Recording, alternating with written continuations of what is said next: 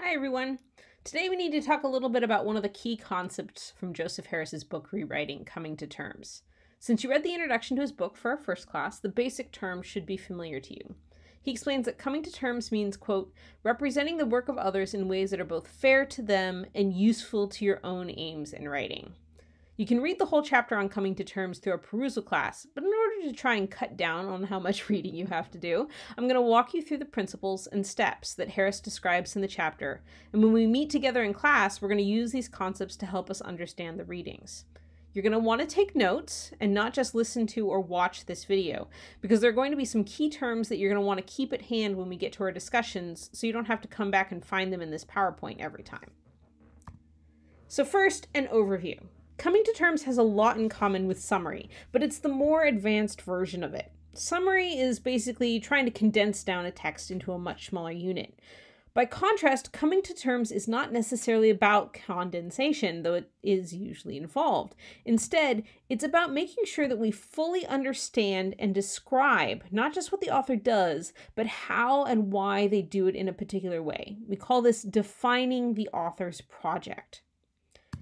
One of the most important things about coming to terms, according to Harris, is the idea of the ethics of writing that he mentioned in the introduction. In coming to terms, we need to be generous or fair to the author, trying to understand things from their their point of view, even when we maintain our own perspectives. Being generous means not attacking them for small slips in how they say things, but really focusing on the bigger ideas, methods, and purposes that they have. The final big thing about coming to terms to keep in mind is that it always has an end goal in mind that is bigger than summarizing. Coming to terms means that you're already also thinking about not just trying to represent what the author says, but how you are going to use and respond to the text. Now, this is an awful lot of different things to try and keep in balance. So, what Harris does throughout the chapter is give you a series of questions you can ask to help you get a complete picture of how a text works and, ha- and keep it in balance with your own ideas. So these are questions you can ask of any text to help you deeply read and understand. Even if when you actually start writing and using a text in your own work, you might not reference or answer all of them. So there are six different sets of questions, and we're going to go through each one. Um, but you're going to want to make sure you really learn these terms as we're going to return to them throughout the semester. So they're aims, methods, materials, keywords and passages, and uses and limits. So let's get started. The first thing that we're going to think about when we're defining a project and coming to terms with it are the author's aims. Harris uses the word aims in part because it points out that what an author is trying to do and what they actually succeed at doing can be slightly different. We can't always know for sure what an author is trying to do, but if we want to be generous, we need to try and interpret the text based both on what they succeed at doing and on what they were trying to do, but maybe not doing so successfully. As you might guess, this is important to me as a teacher because of the idea of quality of failure. All right, so let's break down the idea of aims and think about how it helps us come to terms with uh, text a little bit better. The first thing you want to think about is audience. Who are you trying to reach, or who is the author trying to reach? Every text has an audience, and many texts have several different audiences. You're going to want to start with an author's explicit audience if they mention one, but sometimes there will be implicit audiences as well, as the author expects um, people to read the, a book or an article, uh, even if it's not directly aimed at them. Next, there's the question of what conversations an author is intervening in. Especially in academic writing, authors will usually signal the conversation they're responding to. There will be a moment, sometimes very early on, sometimes later, where they will say, here's what everyone else has been saying or doing about this issue. Harris does this himself when he talks about how previous textbooks had an approach that didn't make sense to him or that weren't enough for him. He saw their conversation and he wanted to make an intervention into it. So, third question What problems or issues do they explore? Sometimes this is identical to the conversation or intervention, but not always. Um, this is not necessarily always the same thing as the topic or subject matter, though sometimes it is. Fourth is the position that the author wants to argue. The more complex the text, the more different things someone might think the author is arguing, but usually there will be one clear statement about the author's major position. It's worth noting, um, that an argument is never just a topic or subject, it's always a statement about the topic that other people could reasonably disagree with. We usually call this a thesis, um, but oftentimes a position might be bigger than just the thesis. It might be, uh, or it might have several different statements that are like a thesis. Fifth and finally, you want to ask what is the author trying to achieve? This is sometimes different from the position the author argues because it's really about why their position matters or what they want to happen if people are convinced of their position. This is the kind of thing that a writer will sometimes state explicitly. For example, Harris's introduction tells us what he's trying to achieve. Quote, I hope that is to help you write with perspicacity and wit about texts and issues that matter to you. He's very clear, not just that about what he wants to say about writing, but what the purpose of that argument or that position that he's taking is. And it's to help the reader do a specific thing that they couldn't do as well otherwise. So, on to the second major question when it comes to coming to terms. What are the materials that the author uses? This is in many ways a more straightforward idea than aims. At the most basic level, you might just ask what points do they make in order to achieve their aim. Then you could go deeper and ask about their evidence and examples and the sources that they use. When you're coming to terms with a text, it's often easy to just catalog the specific materials a writer uses, making a list of them. So, the real trick in coming to terms with an author's materials is not just to identify them, but to think about why they are using them.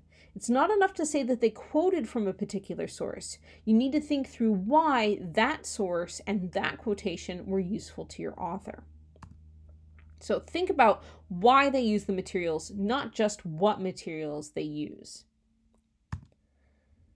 The third category that we want to look at is methods. Methods can mean a lot of different things in the context of writing, especially academic writing. First, consider whether the author invokes a specific theoretical framework. If an author signals that they're using a particular school of thought or following in a particular group, uh, following the work of a particular group, this is often a signal for their methods. You'll also want to think about the specific logic or the connections the author makes between the points that they have and the evidence or materials that they use. Is the author working with analogy or by deduction? How does the author get from one idea to another? And then they'll um after you look at the connections between the different ideas, you're going to want to also think about rhetoric or how the author connects their ideas to their audience. Rhetoric just means the art of persuasion. Um, it can include logic, so it might replicate what you're talking looking at in the other methods, but it might also reference specific values that an audience holds or the particular emotions that they're trying to create in an audience.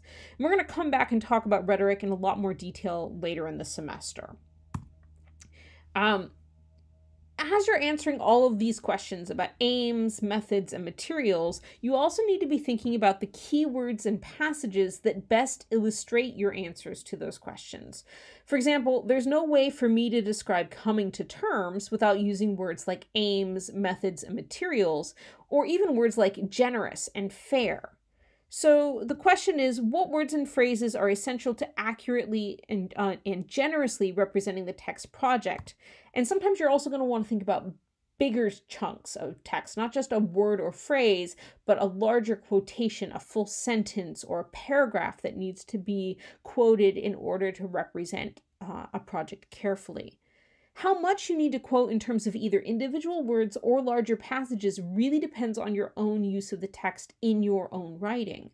The more important a text is to your project, the more you might quote. But also, the more careful you have to be in distinguishing your voice from that of the source. And we'll talk about that active quoting in a bit uh, more detail later on in the semester. The final two parts of coming to terms are assessing the uses and limits of the project that you're coming to terms with. This is really the point where you start to think concretely about the relationship of the text to your own ideas. Uses are the most generous component when you ask, What's good about this project? What's useful about the ideas, either in the past or present, or to someone reading what you are saying? How can someone build on the work that has already been done in the text that you're using so what what is it that's really valuable about the particular text It's important that you ask this question before you get to limits.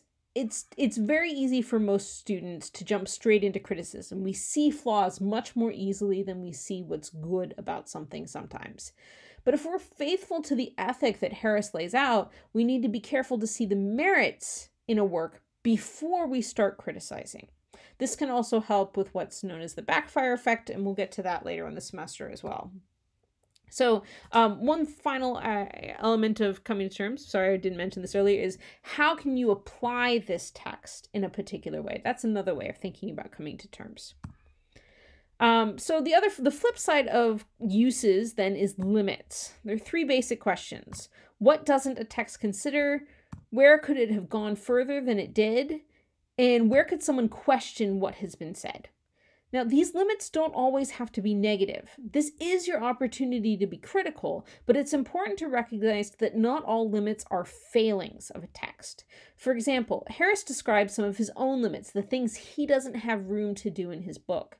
He explains that his book is not a guide to research. There are other books that do that. He's not going to explain the nitty gritty details of how to cite sometimes authors just don't have room to discuss all the things they might want to or all the things their audience might want them to. They might be limited to a particular time period or a particular geography. But the great thing about limits, whether positive or negative, is that they offer places for you, or for someone at least, to add something. So let's go back to the beginning and review real quick, because um, these are the things that really need to stick in your head. Coming to terms is a way of understanding and describing an author's project that is both generous and critical. It becomes the basis for your own use of the text. You need to consider the author's aims, methods, and materials, all while representing them accurately through at least a few of their own key words and passages. And then you need to think about how their ideas are useful or limited or both. So when you come to class, expect me to ask about these specific things with any of the readings that you were assigned. This is oftentimes the framework that I will use to structure our class conversation when we're looking through reading. Um, when you're annotating the text, you can be looking for these specific things. All right, I'll see you guys in class.